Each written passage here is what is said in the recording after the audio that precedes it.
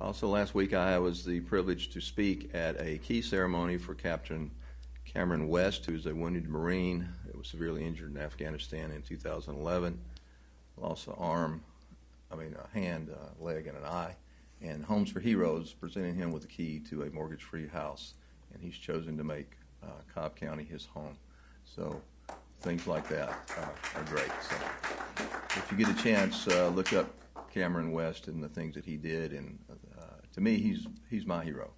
Uh, he was presented with a couple of uh, gifts. One was a honorary homeowner association to Brookstone, and another to uh, Camden Point. And unfortunately, he made an offhand comment that he would go skinny dipping with one leg, so they withdrew one of them. Just a joke. It was fine, though. But he did. He's pretty hilarious, considering what he's going through, and he's a true hero. So appreciate that.